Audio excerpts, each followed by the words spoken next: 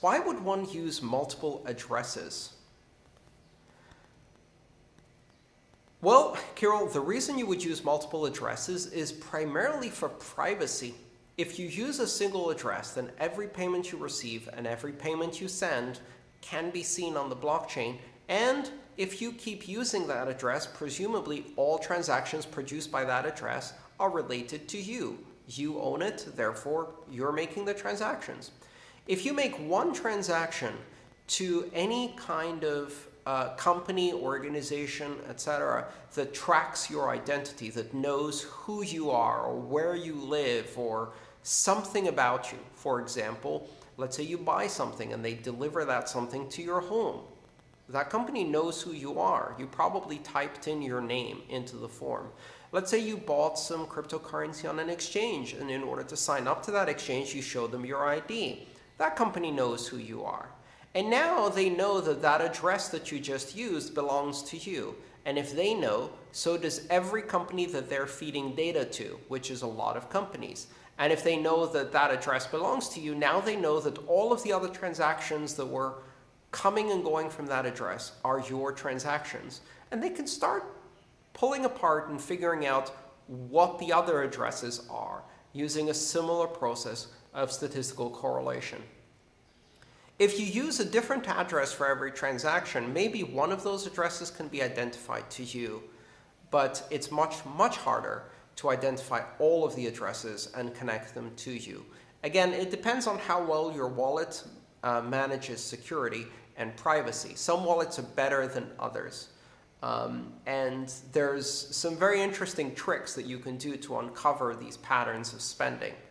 But Bitcoin isn't anonymous, so you have to be very careful. Using multiple addresses is one way you can protect your privacy, at least, at the very least, from a casual observer, someone who's simply clicking through on blockchain info and looking at various addresses. If I expose my transaction ID to someone, then they can see all my transactions. How does this provide me privacy? Well, it doesn't. Um, if you show a transaction ID to someone, they can see which addresses were involved in that transaction. And depending on whether you're the sender or recipient, they can look at the sender or recipient addresses and then figure out that those belong to you and then follow other transactions that have happened involving those addresses.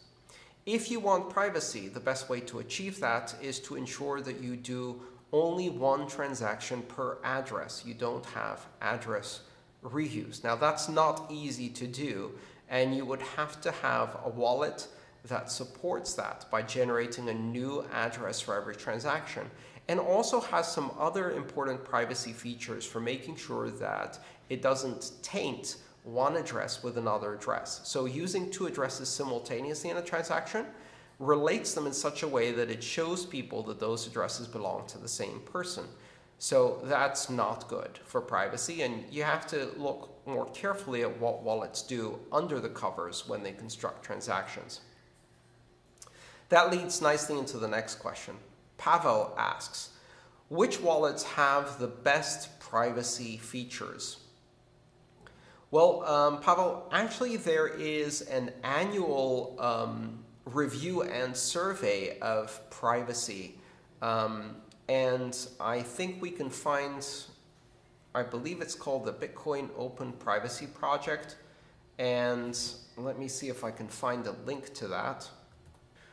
And every year that project looks at um, looks at various wallets and scores them for privacy. I was actually one of the contributors to that project. You can find it at openbitcoinprivacyproject.org, openbitcoinprivacyproject.org, OBPP and it scores various wallets for the level of privacy that they offer users, looking at various aspects of the wallet, whether the wallets mix addresses together, how they handle change addresses, how they order outputs within the uh, transaction so that it's not easy to determine which of the outputs is a change address, um, whether they use um, whether they leave various signatures within the transaction that can identify which wallet was used, and all kinds of things like that. So yes, some wallets have better privacy features than others. I'm not sure who the winner of last year was. Um, I can tell you that I use um, Samurai Wallet for privacy. It has some excellent privacy features. Um, but there are many other wallets that offer privacy, so um, you can look at some of that.